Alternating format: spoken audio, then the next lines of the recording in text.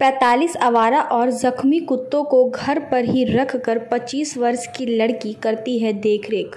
25 वर्ष की लड़की अमृतसर सदर बाज़ार की रहने वाली। जो कि बाहर से जख्मी कुत्तों को घर में लाती है और उनकी मलहम पट्टी करती है, दवाई देती है और उनके खाने पीने, रहने का पूरा इंतज़ाम करती है।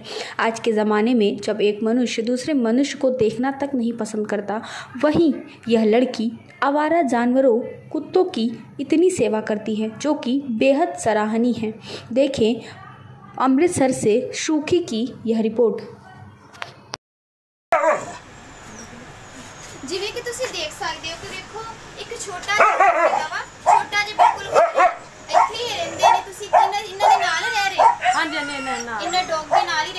ਹਾਂਜੀ ਬਿਲਕੁਲ ਸਾਡੀ ਇੱਥੇ ਇਹਨਾਂ ਨੇ ਬੈੱਡ ਲਾਇਆ ਹੋਇਆ ਅੱਗੇ ਰਸੋਈ ਹੈਗੀ ਆ ਵੇਖੋ ਅਲਮਾਰੀਆਂ ਲੱਗੀਆਂ ਹੋਈਆਂ ਨੇ ਕੱਪੜਿਆਂ ਵਾਲੀਆਂ ਸਾਰਾ ਕੁਝ ਇਕੱਠੇ ਹੀ ਇੱਕ ਇੱਕ ਮਤਲਬ ਕਿੰਨਾ ਤੁਹਾਡੀ ਜਗ੍ਹਾ ਕਿੰਨੀ ਹੈਗੀ ਹੈ? ਇੱਥੇ ਸਾਰੇ 70 ਗੱਜ ਹੈਗੀ ਸਾਰਾ। ਦੋ ਟੈਚ ਠੀਕ ਹੈ। 70 ਗਜ ਜਗ੍ਹਾ ਹੈਗੀ ਹੈ ਜਿੱਥੇ ਤੁਸੀਂ ਵੇਖ ਸਕਦੇ ਹੋ ਉੱਪਰ ਡੋਗੀ ਵੀ ਬੈਠੇ ਹੋਏ ਨੇ ਉੱਥੇ ਹੀ ਹਾਂਜੀ ਉੱਥੇ ਹੀ ਰਹਿ ਰਹੇ ਨੇ।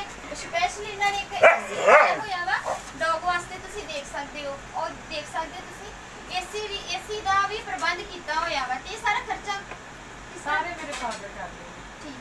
ਸਾਰੇ ਫਾਦਰ ਕਰਦੇ ਜੋ ਵੀ ਸਾਰਾ ਖਰਚਾ ਜੋ ਫਰਾਡਾ ਲੱਗਾ ਹੋਇਆ ਬਾਹਰ ਜਿੰਨਾ ਵੀ ਸਾਰਾ ਫਾਦਰ ਕਰਦੇ ਤੇ ਤੁਸੀਂ ਦੇਖ ਸਕਦੇ ਹੋ ਵੀ ਕਿਸ ਤਰ੍ਹਾਂ ਮਤਲਬ ਇਹ ਸਾਰਾ ਕੁਝ ਹੈਂਡਲ ਕਰਦੇ ਪਏ ਨੇ ਕਿਵੇਂ ਉਹਨਾਂ ਦਾ ਕਿਵੇਂ ਉਹਨਾਂ ਦਾ ਮਤਲਬ ਅਹ, ਦਿਨ ਦਾ ਖਰਚਾ ਚੱਲ ਰਿਹਾ ਵਾ ਕੀ ਸਾਰਾ ਕੁਝ ਹੋ ਰਿਹਾ ਵਾ ਉਹ ਸਾਰਾ ਕੁਝ ਇਹ ਖੁਦ ਕਰ ਰਹੇ ਹੈਗੇ ਨੇ ਕੋਈ ਇਹਨਾਂ ਨੂੰ ਕੋਈ ਬਾਹਰੋਂ ਨਹੀਂ ਦੇ ਰਿਹਾ ਇਹ ਖੁਦ ਇਹ ਸਾਰੇ ਲੜਕੀ ਖੁਦ ਮਤਲਬ ਜੋ ਵੀ ਅਵਾਰਾ ਡੌਗ ਨੂੰ ਨੂੰ ਮਿਲਦਾ ਵਾ ਉਹਨਾਂ ਨੂੰ ਲੈ ਕੇ ਆਉਂਦੇ ਨੇ ਉਹ ਅਵਾਰਾ ਡੌਗ ਨੂੰ ਜਾਂ ਜਾਂ ਉਹਨਾਂ ਦੀ ਕਿਤੇ ਲੱਤ ਟੁੱਟੀ ਹੁੰਦੀ ਹੈ ਜਾਂ ਉਹ ਜ਼ਖਮੀ ਹੁੰਦੇ ਨੇ ਜਿਸ ਤਰ੍ਹਾਂ ਦੇ ਵੀ ਹਾਲਾਤ ਵਿੱਚ ਹੁੰਦੇ ਨੇ ਉਹਨਾਂ ਨੂੰ ਉਹ ਚੰਗਾ ਕਰਦੇ ਨੇ ਅਤੇ ਉਹਨਾਂ ਦੀ ਦੇਖ ਹੈਲੋ ਹਾਂ ਚਾਹੁੰਦਾ 2 ਮਿੰਟ ਰੁਕੋ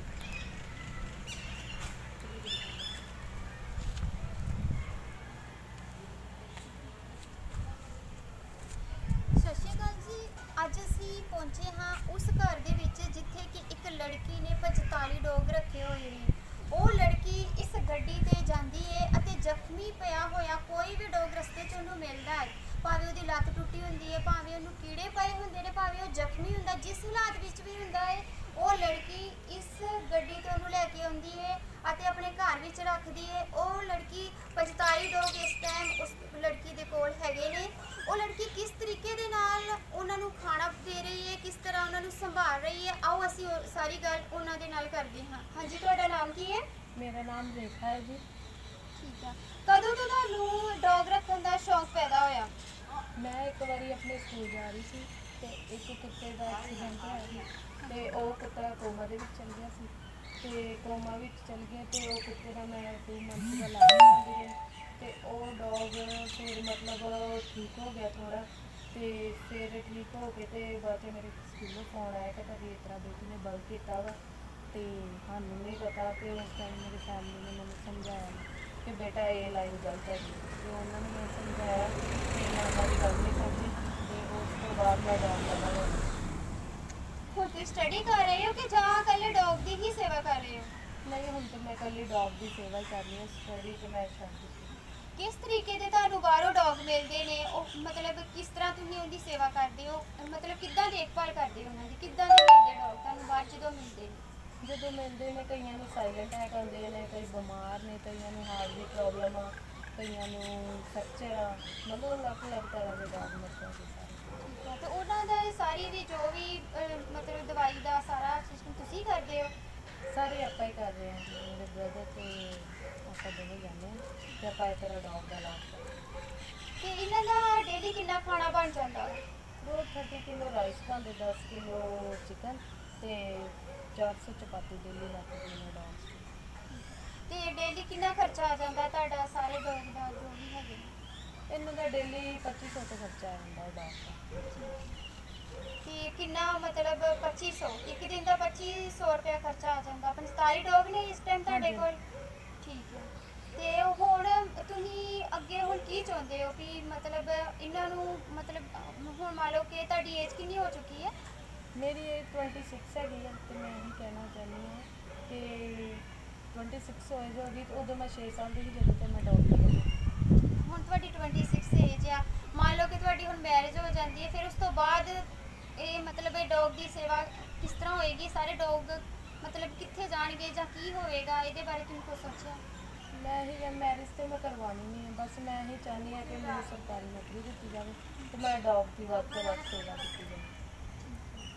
ਤੇ ਹੁਣ ਤੁਸੀਂ ਮੰਨ ਲਓ ਹੁਣ ਤੁਹਾਡੇ ਆਂਢ ਗੁਆਂਢ ਲੋਕ ਰਹਿੰਦੇ ਹੋਣਗੇ ਜਾਂ ਤੁਹਾਨੂੰ ਕੋਈ ਮੈਰਿਜ ਪਾਰਟੀ ਤੇ ਬੁਲਾਉਂਦਾ ਜਾਂ ਕਿਸ ਤਰ੍ਹਾਂ ਤੁਸੀਂ ਉੱਥੇ ਜਾ ਪਾਉਂਦੇ ਹੋ ਕਿ ਜਾਂ ਇਹਨਾਂ ਦੀ ਸੇਵਾ ਵਿੱਚ ਹੀ ਰੁੱਝੇ ਹੋਏ ਹੋ?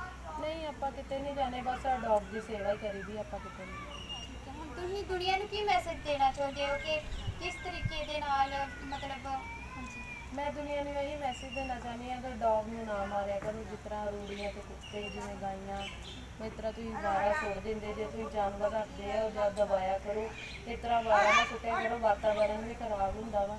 ਤੇ ਸਾਡੇ ਜਿੰਨਾ ਵੀ ਵੇਖੋ, ਨਹਿਰਾਂ 'ਚ ਪਏ ਹੁੰਦੇ ਡੌਗਸ ਪਏ ਹੁੰਦੇ ਗਾਈਸ ਪਏ ਹੁੰਦੇ ਕਾਊਸ ਪਿੱਗ ਇਸ ਤਰ੍ਹਾਂ ਹੀ ਪਏ ਹੁੰਦੇ ਆ ਵਾਰਾ। ਪਲੀਜ਼ ਇਸ ਤਰ੍ਹਾਂ ਨਾ ਕਰਿਆ ਕਰੋ, ਵਾਤਾਵਰਨ ਦੀ ਸਫ਼ਾਈ ਰੱਖਿਆ ਕਰੋ ਤੇ ਵਧੀਆ ਮਤਲਬ ਦਬਾਇਆ ਕਰੋ, ਜੇ ਤੁਸੀਂ ਜਾਨਵਰ ਰੱਖਿਆ।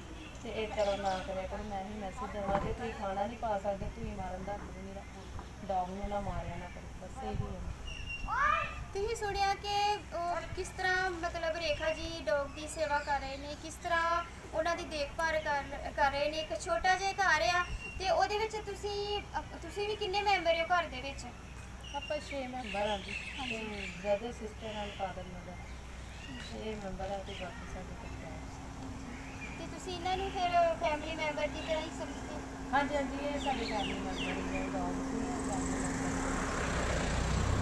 ਤੁਸੀਂ ਸੁਣਿਆ ਕਿ ਰੇਖਾ ਜੀ ਨੇ ਕਿਹਾ ਕਿ ਅਸੀਂ ਡੌਗ ਨੂੰ ਫੈਮਿਲੀ ਮੈਂਬਰ ਹੀ ਸਮਝਦੇ ਹਾਂ ਜਿਸ ਤਰ੍ਹਾਂ ਜਿੱਥੋਂ ਅਸੀਂ ਖਾ ਰਹੇ ਹਾਂ ਉੱਥੋਂ ਡੌਗ ਵੀ ਖਾ ਰਹੇ ਨੇ ਤੇ ਉਹ ਬਾਹਰੋਂ ਚੁੱਕ ਕੇ ਬੇਜ਼ੁਬਾਨ ਜਿਹੜੇ ਜਾਨਵਰ ਹੈਗੇ ਨੇ ਡੌਗਸ ਹੈਗੇ ਨੇ ਉਹਨਾਂ ਦੀ ਸੇਵਾ ਕਰਦੇ ਨੇ। ਤੇ ਉਹਨਾਂ ਨੇ ਇਹ ਮੈਸੇਜ ਦਿੱਤਾ ਕਿ ਸਾਨੂੰ ਕਦੀ ਵੀ ਬੇਜ਼ੁਬਾਨ ਡੌਗ ਨੂੰ ਮਾਰਨਾ ਨਹੀਂ ਚਾਹੀਦਾ। ਅ ਸਾਨੂੰ ਸਗੋਂ ਸਮਝਣਾ ਚਾਹੀਦਾ ਵਾ ਉਹਦੀ ਜੋ ਵੀ ਹਾਲਾਤ ਹੁੰਦੀ ਆ। ਤੇ ਇਹ ਮਤਲਬ ਇਹ ਸਾਰਾ ਕੁਝ ਰੇਖਾ ਜੀ ਨੇ ਦੱਸਿਆ ਕਿ ਕਿੱਦਾਂ ਇਹ ਸਾਰਾ ਕੁਝ ਪਾਲਣ ਪੋਸ਼ਣ ਕਰਦੇ ਨੇ, ਕਿਵੇਂ ਉਹ ਡੌਗ ਨੂੰ ਰੱਖਿਆ ਹੋਇਆ ਵਾ। ਫਾਸਟ ਨਿਊਜ਼ ਤੋਂ